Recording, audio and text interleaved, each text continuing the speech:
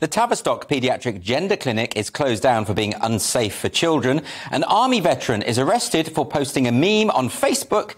And Twitter activists have a tantrum because, well, it's J.K. Rowling's birthday. This is Free Speech Nation.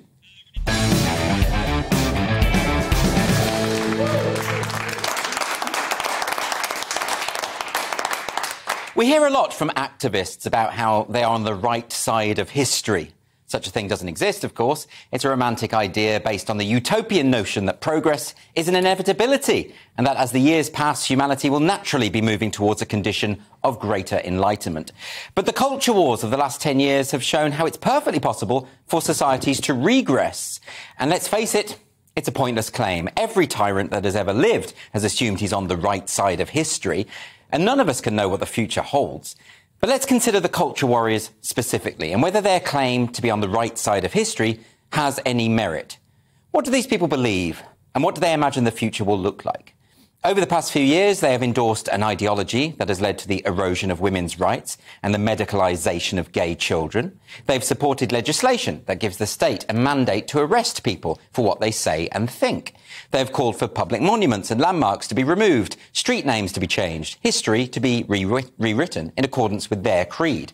They've continually asserted that truth isn't important, that we should deny biological reality or historical facts if they happen to be inconvenient.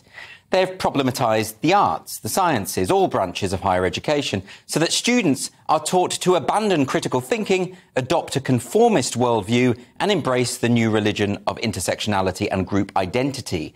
They've created a climate of fear in which decent people won't express themselves freely out of concern that they might be publicly shamed or lose their jobs. They've told us that Martin Luther King's dream of a colorblind society should be abandoned in favour of a system of heightened racial division. So much for the right side of history. At the same time, those of us who have promoted liberal values, such as free speech and individual autonomy, have been smeared as far right. Those of us who acknowledge that we are the beneficiaries of the achievements of the Enlightenment have been denounced as evil. Those of us who believe in genuine progress have been called reactionary. The culture war has turned everything on its head. Now look at this clip from a video that went viral this week. No. I wish Hampshire Police would realise how ridiculous this is. It is ridiculous. It is, of course. I'm trying to come to this.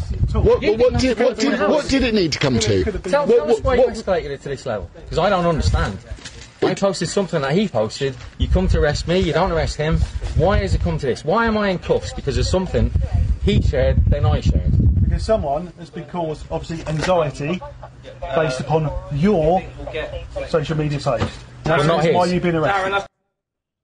So that video shows an army veteran being handcuffed and arrested by Hampshire police. And as you heard there, the reason was that he posted a meme that someone found offensive, specifically that it had caused anxiety.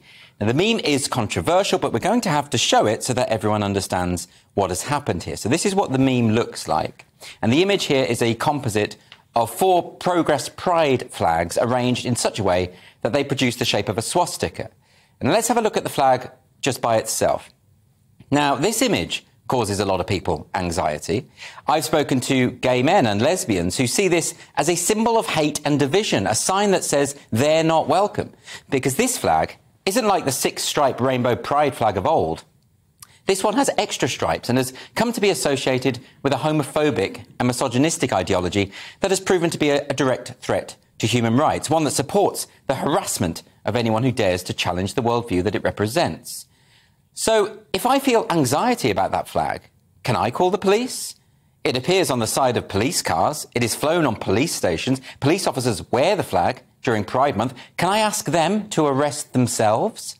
And I'm not being flippant. If the criteria for being led away in handcuffs is merely to cause anxiety, why are the police not being held to account? For many gay people, this flag is a hostile symbol of a movement that wants to rebrand homosexuality as same gender attracted rather than same sex attracted, that wants lesbians to be demonized if they don't want to sleep with men, that wants the state to censor anyone who disagrees. That's why the swastika meme was created. It was a clumsy attempt to say that the Progress Pride flag in its current form has come to be associated with some of the most authoritarian people in our society. And that's true. And whereas you might find the use of the swastika symbol distasteful, the point being made here is clear. And by the way, the kind of activists who like to fly the Progress Pride flag, they call people Nazis all the time. It's their go to catch all slur. Anyone who challenges them is no better than Hitler.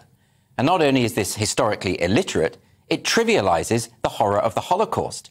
So if culture warriors are happy to compare their political opponents to Nazis at every opportunity, why should the police step in when their targets do the same?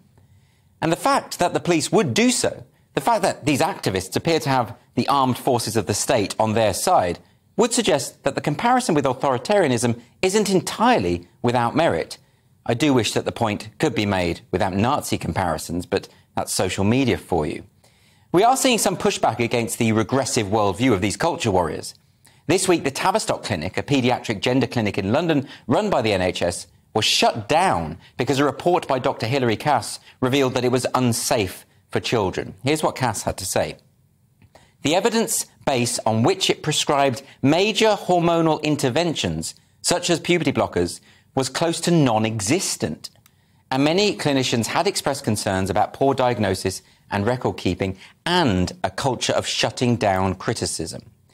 For years, many of us have been warning about the dangers of telling vulnerable and confused children that they were in the wrong body. Most of these kids were simply struggling with their homosexuality.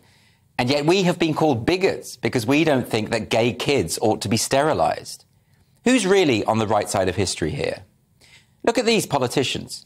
All of them are saying that they support a ban on what they call trans conversion therapy, but this is linguistic sleight of hand. If they had the ban they wanted, and a young person were to go to a specialist to discuss feelings of gender dysphoria, the specialist would have been breaking the law if they tried to discuss these feelings and explore the possibility that other factors might be involved. And these are myriad. There's a strong correlation between autism and feelings of gender dysphoria, for instance. Many young gay people, as I've said, are gender non-conforming. Sometimes children struggle to accept the changes of their body during puberty, and they're looking for an escape. There's a strong element of social contagion to these cases, but for a medical practitioner to discuss any of these possibilities would have been criminalised under this so-called trans-conversion therapy ban, and doctors would have been compelled to affirm any feelings of gender dysphoria and fast-track vulnerable kids into medicalisation. It is starting to feel as though more and more members of the public are waking up to these problems, however. There's still a long way to go, and while most people are still afraid to speak out, we won't get society back on track. It's important, therefore, that we don't get complacent, because culture warriors don't like to admit that they've been wrong. A religious zealot isn't going to suddenly concede that his God doesn't exist. How many activists have put their hands up and said, yes, we were wrong about the Tavistock? So far, I've yet to see one of them make that admission. No, they'll keep on promoting this ideology that poses such a risk to gay people and women, and they'll claim to be on the side of the angels. They'll keep calling for state censorship and stronger hate speech laws because, like all authoritarians, they prefer their critics to be silenced, and they don't like it when their belief system is held up to ridicule or scrutiny. So, for all these occasional victories, we need to keep on pushing back against the culture warriors. Because if these people really are on the right side of history, the future looks pretty bleak